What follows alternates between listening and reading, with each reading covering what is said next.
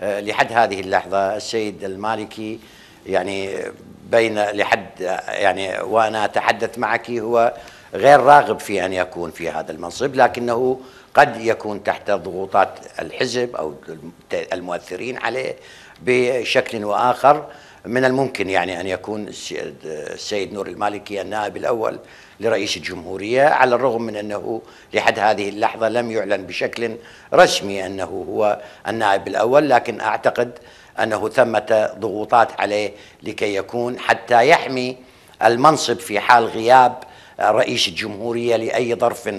كان وبالتالي من الممكن أن تدار مهام رئيس الجمهورية وليس كما كنا في الفترة السابقة لا وجود لنائب أول لرئيس الجمهورية وكان عندما يغيب أو يسافر رئيس الجمهورية يترك الأمر آه، بعيد عن عن كل الصلاحيات الممنوحة الدستورية لهذا المنصب. فبالتالي من الممكن جدا أن أن يعني يقبل بهذا المنصب وأن يكون على الرغم من عدم وجود إعلان رسمي. وأعتقد هذا رأيي يعني أتحدث به بشكل خاص لا توجد لدي معلومة دقيقة أستطيع أن أتحدث بها وأقول نعم أنه هو. لكن الذي أقول أن النائب الأول لرئيس الجمهورية هو من استحقاق دولة القانون. فسواء اختاروا النائب السيد النور المالكي أم غيره سيكون لهذا المنصب.